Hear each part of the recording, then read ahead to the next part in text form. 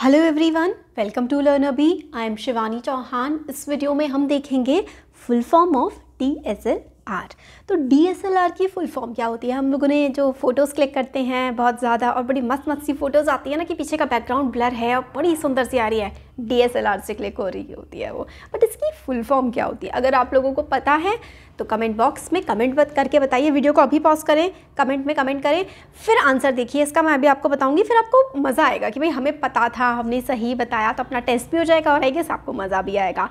तो जो full form होती है डी एस एल आर की, वो होती है digital single lens reflex digital single lens reflex ये होता है डी एस एल आर की फुल फॉर्म अगर आप लोगों को पता थी तो बहुत अच्छी बात है, आप लोग काफ़ी होशियार हैं।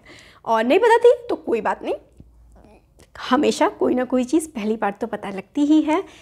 और अगर आपको अच्छा लगता है इस तरीके से हम डेली फुल फॉर्म लेकर के आ रहे हैं और दूसरा हमारा जो चैनल है लर्न बी एक्स्ट्रा वहाँ पर हम एक जीके का क्वेश्चन लेकर आ रहे हैं और हमारा ओनली सक्सेस वाला जो चैनल है, वहाँ पर हम डेली कर रहे हैं इंग्लिश के जो डिफरेंसेस या फिर इंग्लिश के वर्ड मीनिंग्स या इंग्लिश ग्रामर से रिलेटेड टॉपिक्स हम वहाँ पे कवर कर रहे हैं।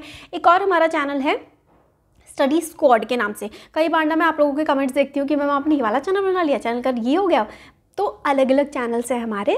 ताकि आप लोगों से अलग अलग तरीके से हम लोग जुड़े रहें। और हमारा कंपटीशन रोना भी कंपटीशन भी है।